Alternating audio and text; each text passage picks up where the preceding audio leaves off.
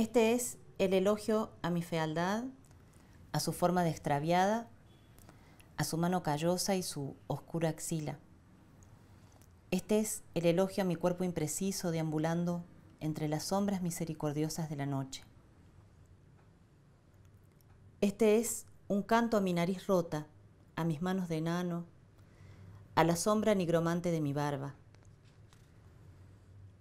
Este es un sacrificio a mis tetas de quinceañera hambrienta, a mis pómulos de india mansa, a mis labios secos por el mareo del viento, a mis colmillos, a mis uñas rotas, a mis células, a la vena hinchada de mi frente como la marca de Caín.